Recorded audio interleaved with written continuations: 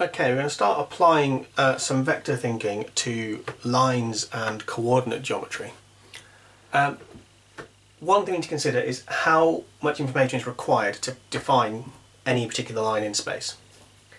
So usually you'd have used something like y equals mx plus c, where you have this gradient and you have this uh, intercept value you can use, but it can be written in any other form, and there's lots of ways to actually write it. Um, but a line, being um, a one-dimensional object, requires one surplus, one extra piece of information. So any object in the universe needs a position to be in, and then because this is one-dimensional, it needs something else to tell us where the rest of it is. So there are two ways to think about this. One way is to think about if I give you two points on this line, this is what Euclid did back in the day, there's only one straight path through them, there's only one direct path through them. So if I give you two points, there's exactly one line. So these are two points, there is exactly one line that could exist that joins them up. As long as we're working in flat space. In fact, that's kind of the definition of flat space. Okay, so one way is to give you two points. The other way is to think about if I give you one point and I say from this point you can only go in that direction and maybe backwards. So there's only one line that goes through that point in that direction and that is this one. Now the benefit of this way of thinking about it, about, about a point in a direction, is that that doesn't depend on the number of dimensions you're in.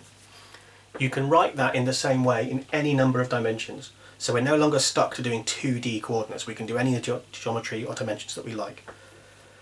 Uh, and direction has a really neat way of being written in vector form. So, let's say that this is the point, and in our coordinate system, that point is 3, negative 4, 7. Okay, so these are distances and directions from some origin that I've defined in space somewhere. Okay, and the line I want to think about is going that way.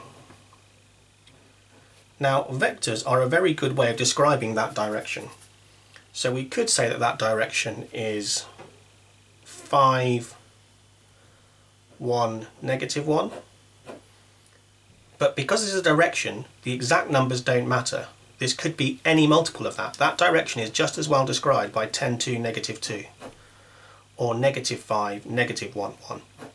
These three vectors are different vectors, but they're all parallel, which means they're all describing the same direction.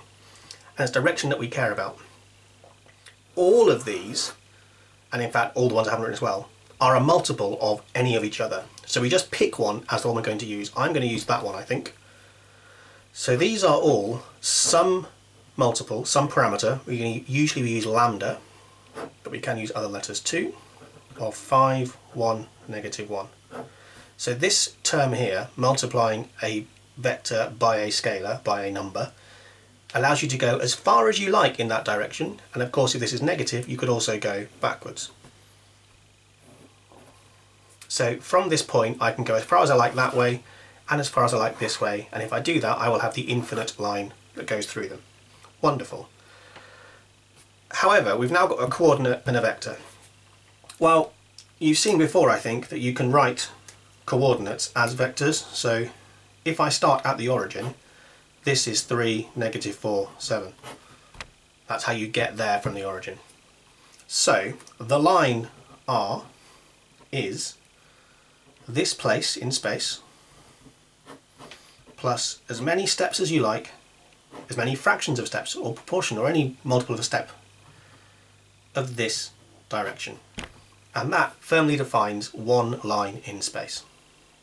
Alright? And that's quite a neat way. So you know that point is on the line and you can travel this direction as far as you like.